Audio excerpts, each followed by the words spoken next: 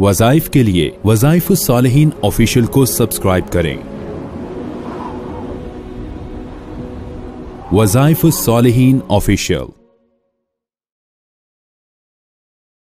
बसमीम खुवान को अक्सर मसाइल होते हैं। अब उनके खास अयाम में जब हैज़ शिद्दत इख्तियार कर जाता है तो बाज़ात उसमें इतनी ज्यादती होती है कि वो परेशान होती हैं, बीमार हो जाती हैं। अब वो इबादत में उनको वो यकसुई नहीं रहती। अब शिद्दत हैज़ जो है, ये भी अल्लाह रबुल्ज़त की तरफ़ से एक आजमाइश है। और बाज़ात ये शैतान की तरफ़ से जिसम के अंदर जो है मदाखलत के सबब से भी होता है। अक्सर जन्नाती असरात जो जिसम में रासिक होते हैं और खून में शामिल होते हैं जो अक्सर बाथरूम की दुआ, खाने की दुआओं से बहुत दूर होता है तबका, और वो खातन बिलखसूस तौर पर इस बीमारी का शिकार हो जाए अब इसका इलाज क्या है? मुजर्रब याद रखें, खास अयाम में नमाज़ और कुरान पाक आप नहीं पढ़ बहुत सी खातन को पता ही नहीं होता इस इल्म का, और वो दीनदार होने के बावजूद कुरानी आयात पढ़ती रहे खास अयाम में अल्लाह रबुल्जत ने इनको नमाज़ माफ़ कर दी है और रोज़े की कजा की है। अब नमाज़ जैसी इबादत भी अल्लाह ने माफ़ उन दिनों की नमाज़ कजा नहीं है। अब उन दिनों में आप बिल्कुल बिल्कुल अल्लाह का नाम लेना छोड़ दें। ऐसा भी नहीं है। तभी तो शयातीन मुसलत हो जाते हैं। आपको उन दिनों में चाहिए कि आप अल्लाह या अर्रहमान या रहीम या अल्लाह का कोई और सिफाती नाम जबान से